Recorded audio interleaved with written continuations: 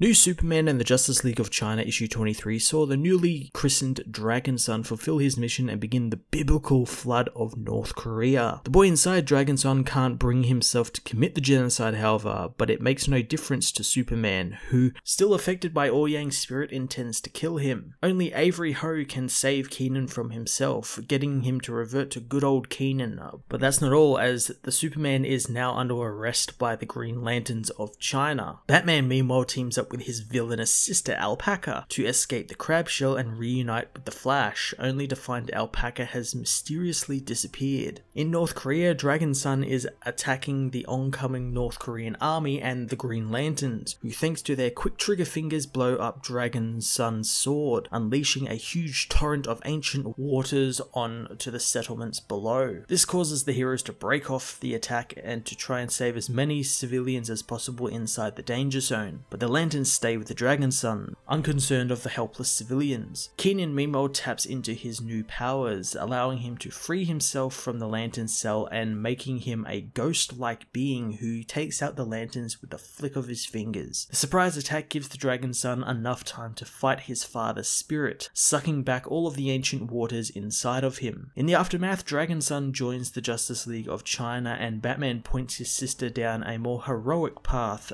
Kenan meanwhile talks with his spirit guides, finding that the white version of him was his out of balance self in the favor of Ouyang, while the ghost-like form he took was from his master I Ching, and because of that he learns he now has balance. He also learns that because now he can go into the ghost realm, he can rescue his master I Ching from the realm of ghosts. New Superman and the Justice League of China issue 23 continues to deliver a fun, action-packed and different take on familiar character archetypes, in this case the debut story of the quote-unquote Aquaman of North Korea. It's great that we have here what are essentially legacy characters of Batman, Superman, Wonder Woman, Flash, but they are allowed to make the mantles their own and put their own spins on it and have their own really unique stories. It's not, you know, this Superman has to fight Lex Luthor every other time or this Flash has to verse a reverse Flash. They have their own unique stories imbued in Asian culture and I think that's really cool. What's even better is Kenan again learned more about his powers and even learnt a new pretty OP